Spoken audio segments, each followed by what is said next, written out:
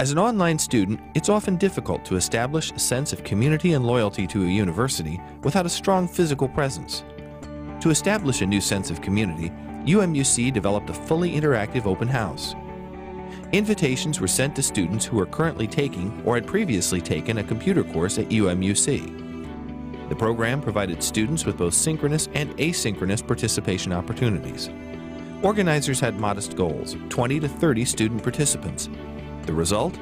More than 100 students participated in the first ever virtual meet and greet, exceeding expectations threefold. Student feedback indicated that the session made them feel more connected to the university, the academic department, and their peers.